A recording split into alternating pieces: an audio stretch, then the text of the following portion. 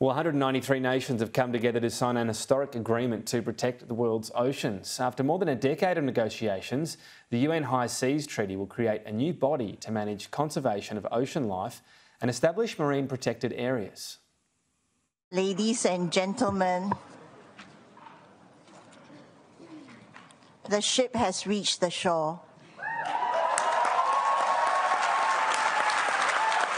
An emotional moment as the United Nations Treaty to Protect the High Seas is finally agreed. Delegates at the UN headquarters in New York had worked through the night to push a deal over the line. After more than a decade of failed talks, a hugely significant milestone.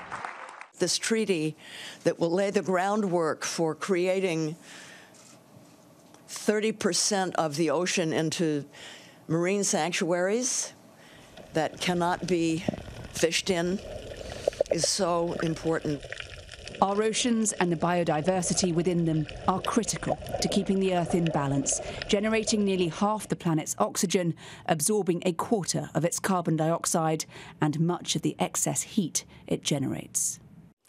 Nearly two thirds of the planet's oceans are actually considered to be international waters outside of the control of individual nations, which means all countries have a right to explore, research, and fish there.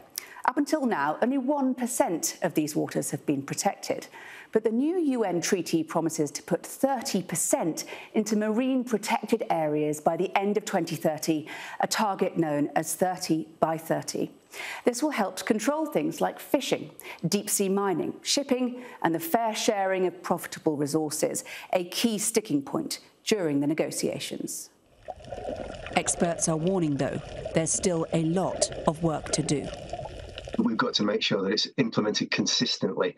Uh, so when it's written on paper uh, and agreed on paper, that, that, that's what happens at sea. We've got to, again, join all this up and make sure that those other management bodies uh, that are managing shipping, deep sea mining, and fisheries adhere to to what, what's said in, in the, the High Seas Treaty.